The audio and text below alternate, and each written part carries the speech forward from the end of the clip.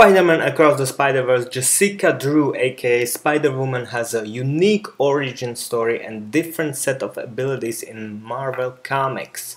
She was introduced in 1977's Marvel Spotlight issue 32. Jessica Drew is the first Spider-Woman in Marvel comic history. Originally, Jessica Drew's father used an experimental treatment involving spider DNA to cure her of uranium poisoning. Years later, Spider-Man's woman's origin was re revised and her power has now come from an experiment gone wrong that exposed Jessica's pregnant mother to radiation.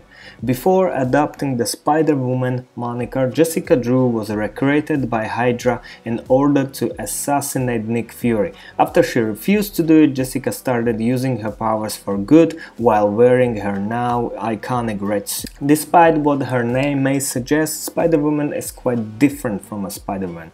Apart from a wall crawling, strength, agility, speed and healing, Jessica Drew can secret pheromones that induce a range of emotions in everyone around her including fear and attraction. She can also use wind currents to glide and shoots powerful bioelectronic bolts of energy called Venom Blasts, similar to those Miles Morales has in the comics. Unlike most spider people, Jessica Drew doesn't have web shooters and thus doesn't web sling.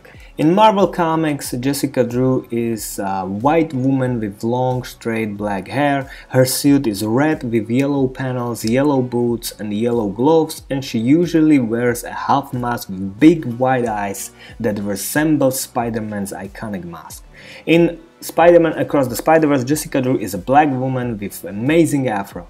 She ditches the red and yellow spandex for a black and red motorcycle jacket and black leather pants. Instead of a half mask, Jessica Drew wear a pair of sunglasses with huge yellow lenses that resembles the shape of Spider-Man's eye. Jessica's abilities are also different in Spider-Man Across the Spider-Verse. Unlike her comic book counterpart, this Jessica shoots spider webs from tip of her fingers and doesn't glide either by herself or with the help of unarmed webbing. Instead of gliding or web slinging, she drives a motorcycle that also aids her in a battle.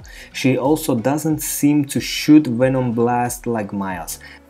Pregnancy isn't exclusive to Spider-Man Across the Spider-Verse. In Marvel Comics, Jessica Drew used artificial insemination to have her first child after the events of 2015 Secret Wars.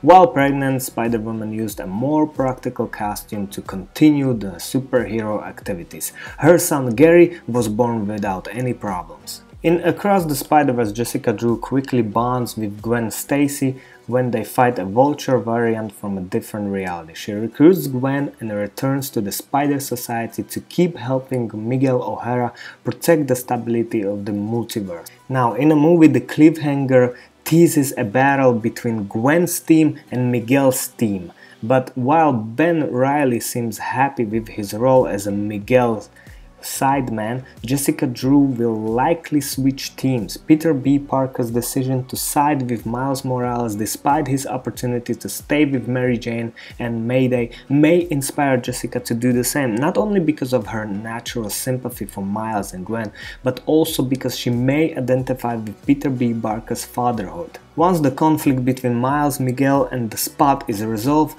Jessica Drew could replace Spider-Man 2099 as a new protector of the Spider-Verse. Subscribe for more nerdy content.